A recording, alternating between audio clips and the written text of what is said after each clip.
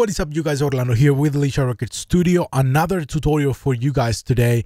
Um, I just wanted to do this one really, really quick because sometimes um, not many people know the tools they have within their uh, DAW.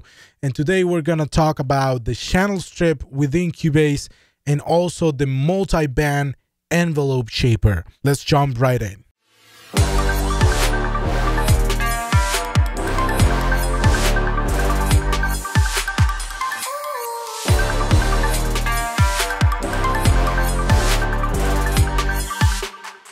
And remember, if you're new to this channel, please consider subscribing. You know the drill. Hit like, hit subscribe, hit the bell so you don't miss any other video from us. There's a lot of Cubase users that actually don't even know the channel strip exists or plugins like this one, the multi-band envelope shaper exists and quite frankly, they're really, really powerful as well. So let's talk a little bit about the channel strip. The channel strip is pretty flexible. It's a modular channel strip. Basically, you can rearrange everything accessed by that E in every channel. And today we're gonna be doing something with this kick. I'm gonna show you the before and after really quick so you guys can actually hear what the multi-band um, envelope shaper is doing and also the channel strip along with that. So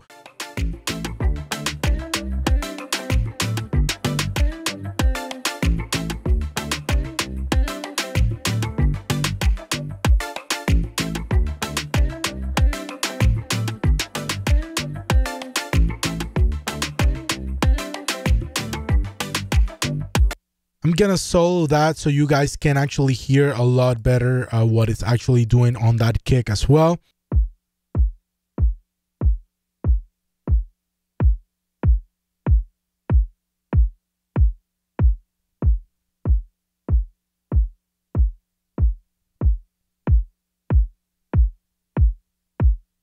It's giving a little bit more punch to that kick. There's a lot of tools here that are pretty cool. And the first one we use here is, of course, the multi-band envelope shaper. Normally, I would use something like Kilohearts, but again, this offers extra level of flexibility. Uh, with Kilohearts, of course, you can do that with uh, multipass and uh, you can actually do that by bands but this is a, actually a multi-band envelope shaper by itself. It's pretty visual as well. You can modify it here in the actual shape or you can go by attack length and release and also sensitivity and output here. And it's pretty amazing what you can do. Go check it out. I think you'll be pleasantly surprised. The channel strip also is highly underrated. Has a bunch of things that are pretty, pretty cool, including saturation.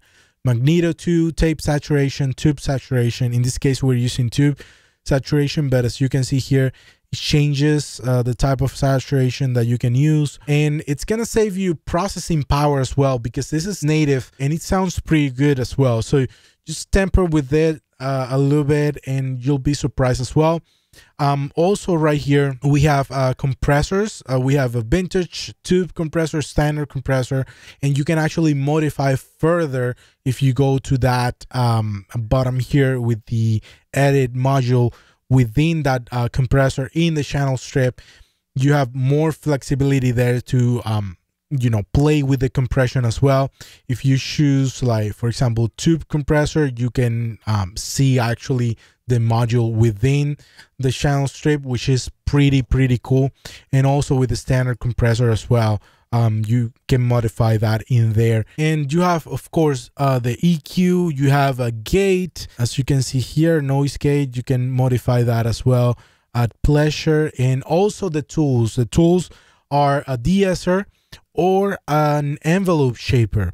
Um, and those are pretty, pretty cool tools to have also on the channel strip. And at the end, you can have uh, the three limiters that comes with Cubase brick wall limiter, maximizer, the standard limiter as well. All inside individual channels within Cubase. Try to use the channel strip first and try to see what you can accomplish with this first and then use third-party apps and you'll be surprised as well uh, on how much uh, processing power you will save and also um, the quality of the sound that you can get from the channel strip itself. That's all for today's tutorial. Just wanted to, you know, bring your attention to this thing, the channel strip, which is one of the most powerful tools within Cubase that I dare to say not many people use because they think uh, you know it's just bad quality plugins or whatever and that's nonsense. This sounds pretty pretty cool and uh, you'll be surprised. So try to use that. Again if you're new to this channel please consider subscribing. You know the drill. Hit like hit subscribe hit the bell so you don't miss any other video from us. And if you like the tutorial today please leave a comment below. Let me know. I would appreciate that. And if you have questions as well please leave them in the comments below and I'll be answering those as well. Until next video, guys, don't stress, do your best, be blessed, forget the rest. See you around.